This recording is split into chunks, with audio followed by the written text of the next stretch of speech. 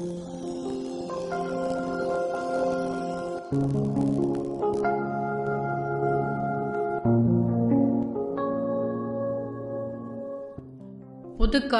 முப்பத்தி இரண்டாவது வாரம் வெள்ளிக்கிழமை. முதல் வாசகம். சாலமோனின் ஞான நூலிலிருந்து வாசகம். அதிகாரம் பதிமூன்று இறை வார்த்தைகள் ஒன்று முதல் ஒன்பது வரை. கடவுளை அறியாத மனிதர் அனைவரும் இயல்பிலேயே அறிவிலிகள் ஆனார்கள். கண்ணுக்கு புலப்படும் நல்லவற்றினின்று இருப்பவரை கண்டறிய முடியாதோர் ஆனார்கள். கைவினைகளை கருத்தாய் நோக்கியிருந்தும் கைவினைஞரை அவர்கள் கண்டுகொள்ளவில்லை. மாறாக தீயோ காற்றோ சூறாவளியோ விண்மீன்களின் சுழற்சியோ அலைமோதும் வெள்ளமோ வானத்தின் சுடர்களோதும் உலகை ஆளுகின்ற தெய்வங்கள் என்று அவர்கள் கருதினார்கள். அவற்றின் அழகில் மயங்கி அவற்றை அவர்கள் தெய்வங்களாக கொண்டார்கள் என்றால் அவற்றிற்கெல்லாம் ஆண்டவர் அவற்றினின்றும் எத்துணை மேலானவர் என அறிந்து கொள்ளட்டும். ஏனெனில் அழகின் தலையுற்றாகிய கடவுளே அவற்றை உண்டாக்கினார்.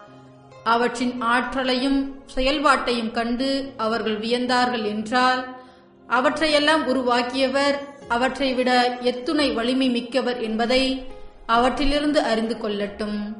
ஏனெனில் படைப்புகளின் பெருமை நின்று அழகி நின்றும் அவற்றை படைத்தவரை ஒப்புநோக்கி கண்டுணரலாம். இருப்பினும் இம்மனிதர்கள் சிறிதளவே குற்றச்சாட்டுக்குரியவர்கள். ஏனெனில் கடவுளை தேடும்போது அவரை கண்டடைய விரும்பும் போதும் ஒருவேளை அவர்கள் தவறக்கூடும். அவருடைய வேலைப்பாடுகளின் நடுவே வாழும்போதும் கடவுளை அவர்கள் தேடிக்கொண்டிருக்கின்றார்கள். தாங்கள் காண்பதையே நம்பிவிடுகின்றார்கள். ஏனெனில் அவை அழகாக உள்ளன. இருப்பினும் அவர்களுக்கும் மன்னிப்பே கிடையாது. உலகை ஆராய்ந்தறியும் அளவுக்கு ஆற்றல் அவர்களுக்கு இருந்தபோதிலும் இவற்றுக்கெல்லாம் ஆண்டவரை இன்னும் மிக விரைவில் அறிய தவறியது ஏன்? இது ஆண்டவர் வழங்கும் அருள்வாக்கு. இறைவா உமக்கு நன்றி.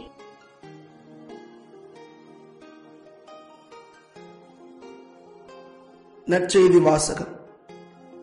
லூக்கா எழுதிய நற்செய்தியிலிருந்து வாசகம். அதிகாரம் பதினேழு இறைவார்த்தைகள் இருபத்தி ஆறு முதல் முப்பத்தி ஏழு முடிய. அக்காலத்தில் இயேசு தம் சிலர்களுக்கு கூறியது நோவாவின் காலத்தில் நடந்தது போலவே மாநில மகனுடைய காலத்திலும் நடக்கும். நோவா பேழைக்குள் சென்று நாள் வரை எல்லோரும் திருமணம் செய்து கொண்டும் உண்டும் குடித்தும் வந்தார்கள். வெள்ளப்பெருக்கு வந்து அவர்கள் அனைவரையும் அளித்தது அவ்வாறே லோத்தின் காலத்திலும் நடந்தது. மக்கள் உண்டார்கள் குடித்தார்கள் வாங்கினார்கள் விற்றார்கள். நட்டார்கள் கட்டினார்கள். லோத்து சோதோமை விட்டு போன நாளில் விண்ணிலிருந்து பெய்த தீயும் கந்தகமும் எல்லோரையும் அழித்தன. மாநில மகன் வெளிப்படும் நாளிலும் அப்படியே நடக்கும். அந்நாளில் வீட்டின் மேல்தளத்தில் இருப்பவர் வீட்டிலுள்ள தம் பொருட்களை எடுக்க கீழே இறங்க வேண்டாம். அதுபோலவே வயலில் இருப்பவர் திரும்பி வர வேண்டாம் லோத்தின் மனைவியை நினைத்துக் கொள்ளுங்கள். தம் உயிரை காக்க வழி தேடுவோர் அதை இழந்து விடுவர். தம் உயிரை இழப்பவரோ அதை காத்துக்கொள்வர் நான் உங்களுக்கு சொல்லுகிறேன். அந்த இரவில் ஒரே கட்டிலில் இருவர் படுத்திருப்பர்.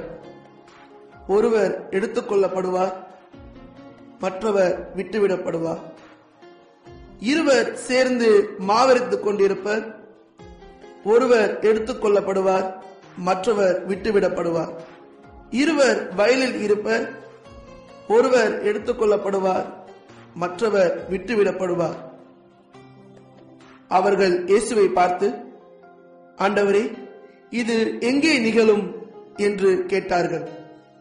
அவர் அவர்களிடம் பிணம் எங்கே இருக்கிறதோ அங்கேயே கழுகுகளும் வந்து கூடும் என்றார். இது கிறிஸ்துவின் நற்செய்தி. கிறிஸ்துவே உமக்கு புகழ். சிந்திப்போம்.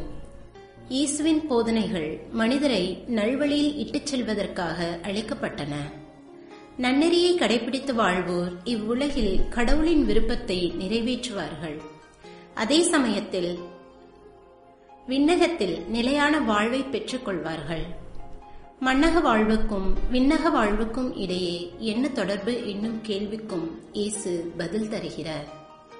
நம் வாழ்கின்ற உலகில் கடவுளின் ஆட்சி ஏற்கனவே தொடங்கிவிட்டது. ஆனால் அது நிறைவடையும் காலம் ஒரு நாள் வரும். அந்த நிறைவு காலத்தை நாம் இரு விதங்களில் பார்க்கலாம். நம் ஒவ்வொருவரின் மன்னக வாழ்வு சாவின் காரணமாக முடிவுக்கு வரும்போது ஒரு விதத்தில் நம் நிறைவு காலம் வந்துவிட்டது எனலாம். அதுபோல மனித குலத்தின் வரலாறு முடிவடைந்து உலகம் அனைத்துமே ஒரு நாள் கடவுளின் திட்டத்திற்கேற்ப நிறைவுக்கு வரும் என்பது மற்றொரு கூறு. இந்த உலக முடிவு எப்போது வரும் என்பது பற்றி இயேசு பதில் கூற மறுத்துவிட்டார். ஆனால் அந்த நிறைவு காலம் எப்படி இருக்கும் என்பது பற்றி ஒரு சில விளக்கங்களை இயேசு தந்துள்ளார்.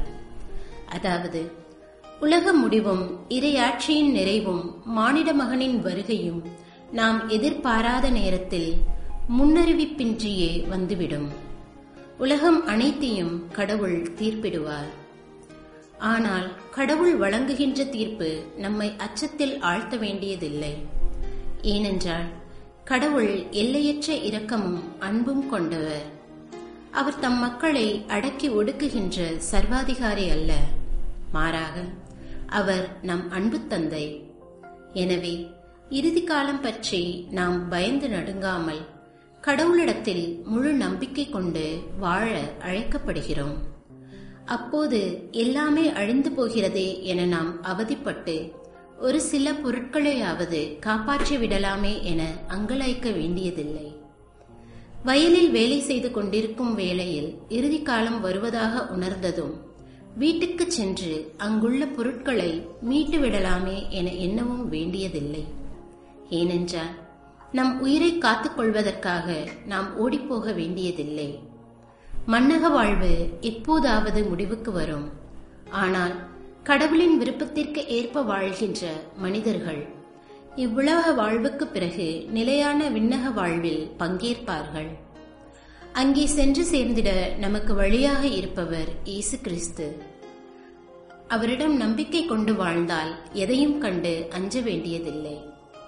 மன்றாட்டு இறைவா உம்மை நம்பி வாழ்வோர் ஒரு நாளும் அழிவதில்லை என உணர்ந்து நாங்கள் செயல்பட அருள்தாரும். Amen.